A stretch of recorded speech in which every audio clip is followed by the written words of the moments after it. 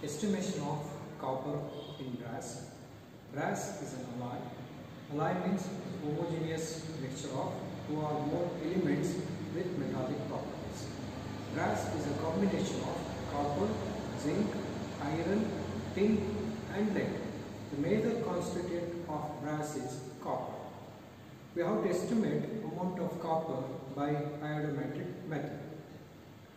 Reason of adopting iodometric titrations are the iodometric titrations are rapid and quantitative.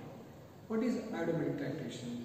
The liberated iodine in a chemical reaction is titrated against standard sodium thiosulfate solution using starch as an indicator. To estimate amount of copper in brass, first we have to prepare brass solution. Brass solution can be prepared by dissolving brass sample in nitric acid. The reason of using nitric acid to dissolve brass sample is the dissolution of brass sample can takes place at room temperature and oxides of nitrogen can be eliminated easily. But you need not to prepare brass solution. We will provide the prepared brass solution in 250 ml standard flask. After collecting the brass sample, you have to dilute this brass solution up to the mark using distilled water and mix well for uniform concentration. We put out 25 ml of brass solution into your conical flask.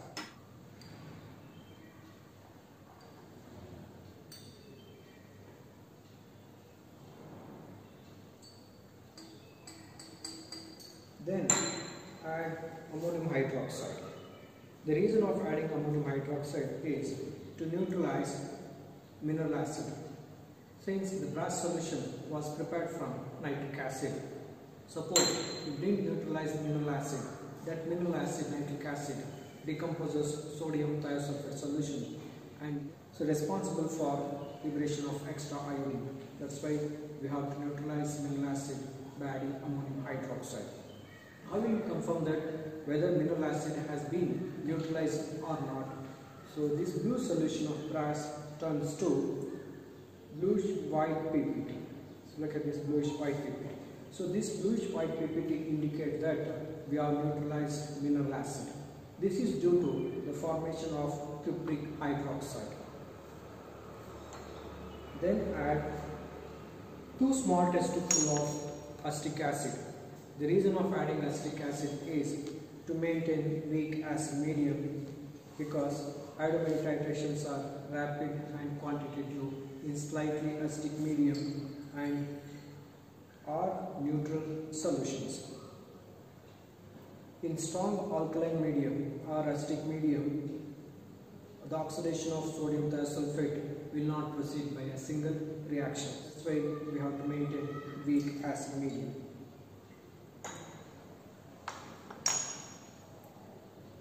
Then add 1 teaspoonful of 10% of potassium iodide solution.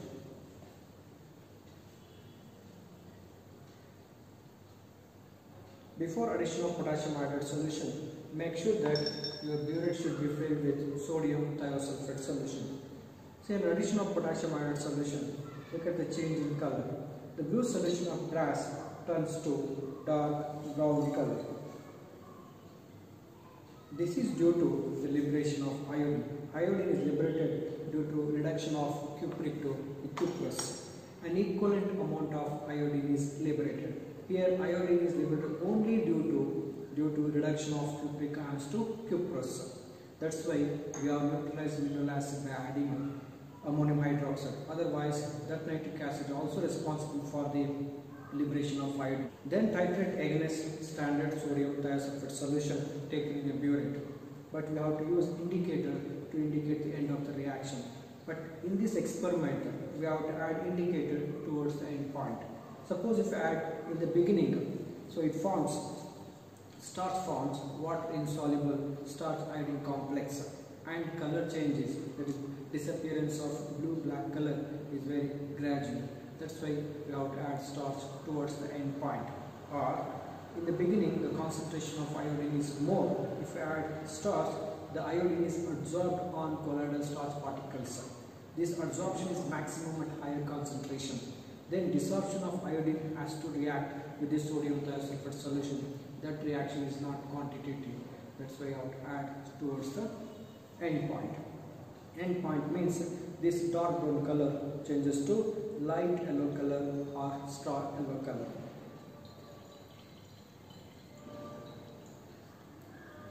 Change Changes to is light yellow color.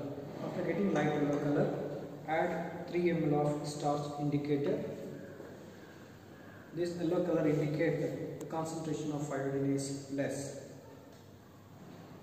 In addition of indicator, you can see the change in color. That is, we'll get blue black color.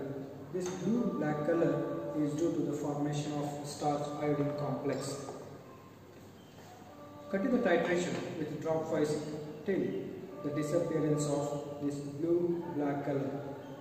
Titration with dropwise till it changes to permanent white color.